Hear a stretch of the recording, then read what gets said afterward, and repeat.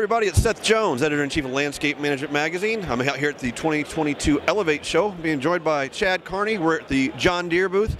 Chad, appreciate you taking the time, and uh, I want to talk to you about uh, what we're standing from this uh, this stand on here. What will you walk me through the machine a little bit? Yeah.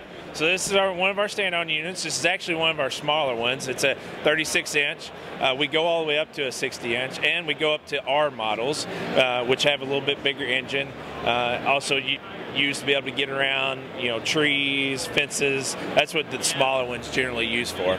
But this is a new model year 23 model for this year that uh, you can go. You, they can go to the dealer now and start putting orders in place for 23 models.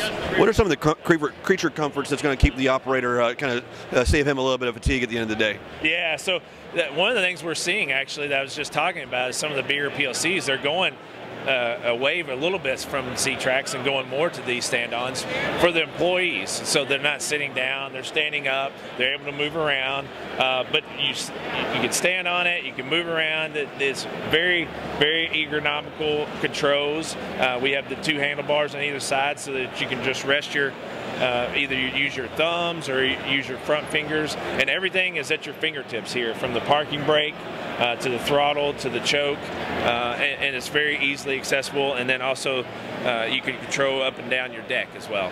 Okay, fantastic. And so you, you think these are kind of gaining in popularity in the market? Yeah, it seems you know not a huge shift, not not anything that just you know we're saying maybe 10, 15 percent of uh, big PLCs trading in some of their ZTraks for some of these stand-on models, and it seems that their employees enjoy that a little bit more uh, throughout the day. It's a okay. day on it. It is a long day. Yep. Cool. Well, Chad, thank you for showing it to me, and, uh, and hope you guys have a great show here at uh, yeah. Elevate. Thanks for coming by.